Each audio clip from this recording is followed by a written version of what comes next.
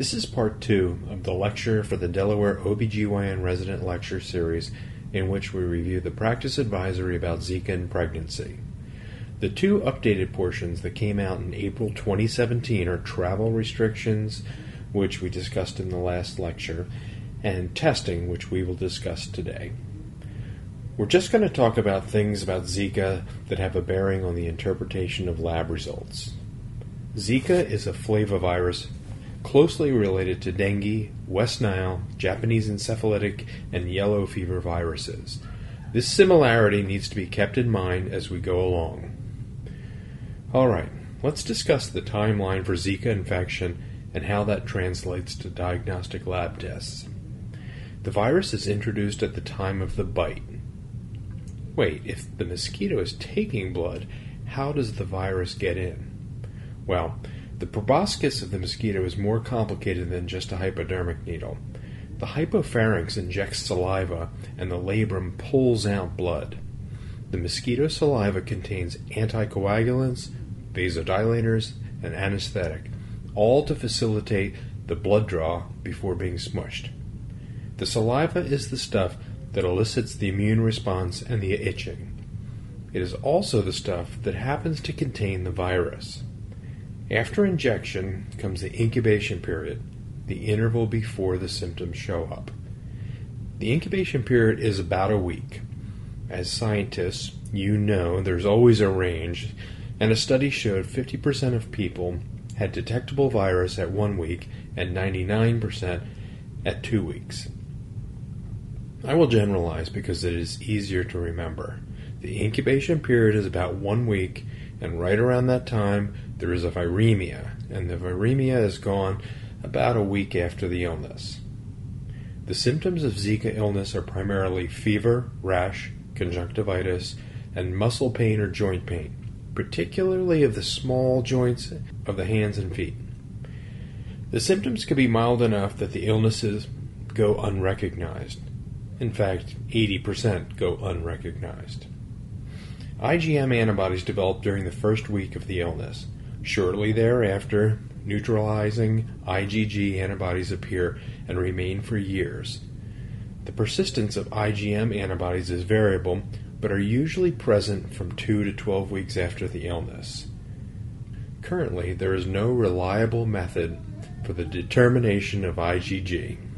Interestingly, infection or vaccination with one flavivirus can cause a bump in titers of antibodies to other flaviviruses the patient may have been exposed to.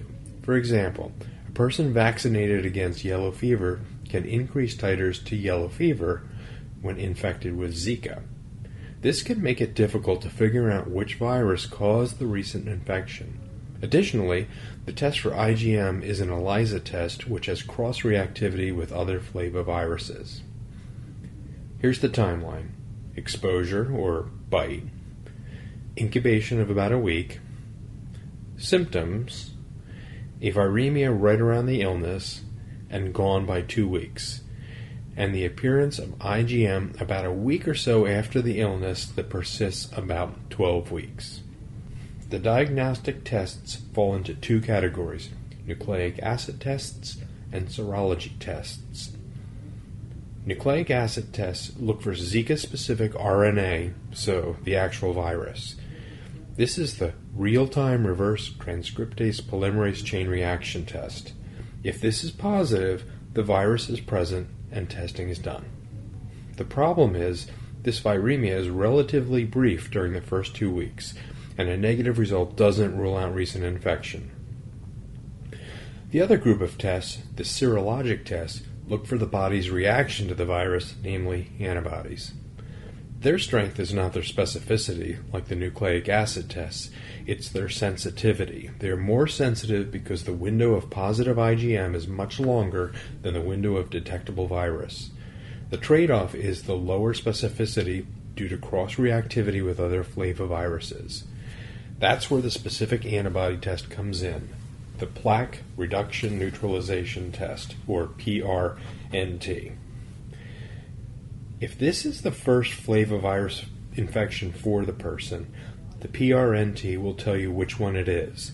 If they've already been infected with others, those levels can bump and make the whole thing confusing. That's the background. First, we'll talk about asymptomatic pregnant patients and then symptomatic ones. The asymptomatic patient is one that, who either comes to you asking about a possible exposure or one from which you elicit that history because you know to ask if they traveled out of the country or to Florida or Texas at every prenatal visit. If they traveled to a known Zika area or had sex with someone who did and they didn't use a condom, that is a possible Zika exposure. Remember, going to Cancun is the same as having sex in Delaware with someone who went to Cancun from a Zika perspective. Next, try to ascertain the timing of exposure. If the exposure was less than two weeks ago, call the Delaware Department of Public Health or their corresponding organization in your locale. They will likely arrange for her to have blood and urine specimens collected to test with nucleic acid tests. That's the real time reverse transcriptase PCR that detects viral RNA or the actual presence of the virus. If it is positive, you're done testing. If negative, it will likely be recommended that the patient return in the 2 to 12 week window for serologic testing for Zika and dengue IgM. If positive or equivocal, it needs to be confirmed by another specific antibody test, the plaque reduction neutralization test. If negative for Zika, you're done. If positive, refer to maternal fetal medicine for counseling and surveillance for microcephaly. If the exposure was 2 to 12 weeks ago, the health department will likely start with IgM instead of a nucleic acid test, since it is likely already negative. However, if the IgM is positive, the next step is the nucleic acid PCR, since it might still be positive, and that is confirmatory of the presence of that particular virus in this particular pregnancy. That nucleic acid test is helpful if positive, but if it is negative, you need to figure out whether the IgM was for Zika or for dengue. That's where the plaque neutralization test comes in. That's the one that differentiates dengue from Zika. After 12 weeks, both IgM and nucleic acid tests may be negative and therefore not be able to rule out infection. According to ACOG, SMFM, and CDC, for symptomatic and asymptomatic pregnant women who seek care greater than 12 weeks after symptom onset or possible Zika virus exposure, providers may consider IgM antibody. This part has, in our experience, been inconsistent, with testing sometimes not recommended because interpretation of the results after 12 weeks is difficult. It has been our experience that a patient who presents at 19 weeks with a possible exposure at 6 weeks is interested in knowing whether the IgM is positive or not. Since the practice advisory specifically states that the provider may consider IgM testing after 12 weeks, I would push for that. Okay, now, how about symptomatic patients? Well, the CDC algorithm treats testing the same whether they are symptomatic or asymptomatic. The differences are in time since exposure. A prenatal ultrasound to evaluate for fetal abnormalities consistent with congenital Zika virus syndrome is recommended for all pregnant women tested for Zika, regardless of laboratory findings. Fetal abnormalities consistent with congenital Zika virus syndrome include microcephaly, intracranial calcifications, and brain and eye abnormalities. So, anyone you think to test, you should get an ultrasound. If the testing is negative and the ultrasound is normal, you're probably done.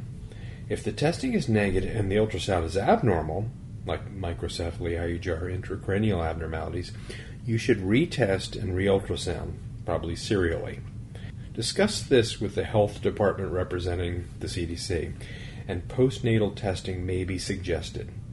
Postnatal testing involves infant serum and urine testing as well as the placenta. The placental testing requires pre approval, so make sure this has been arranged before delivery. If the testing is negative, but the symptoms were suggestive of Zika infection, perform serial sonography and speak with the health department about postnatal testing. This is in no way comprehensive. Identifying those at high risk and testing them are both complex. Here's the summary test patients with possible exposure, definitely within 12 weeks of exposure, and probably after that if they're pregnant currently and they were pregnant at the time of exposure. Order an ultrasound for IUGR and anomalies on all of those patients. Refer to the CDC, ACOG, or SMFM websites and speak to the health department personally for anyone in question.